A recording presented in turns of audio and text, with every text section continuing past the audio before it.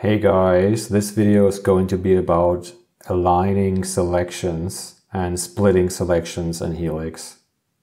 So let me just show you this here. I just want to move my cursor here and then I want to create multiple cursors with Shift C.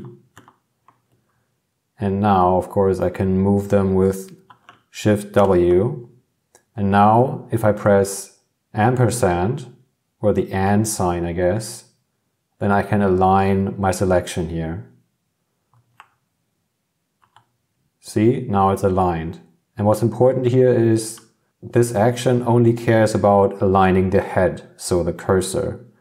It does not care about the rest of the selection. It only cares about the cursor, i.e. the head of the selection. Yeah, and that's one way to align stuff. So let me now show you a different way. So here I have this table I want to align and I can just select the table with, uh, in this case, 6x. You can also do MIP, for example. And then I want to align this.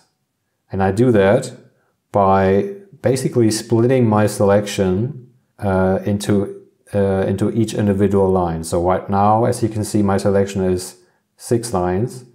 But now I basically want to split my selection on the new line. And I do that by pressing Alt S. Do you see it? Now I have all these cursors. So now I have basically six selections instead of one.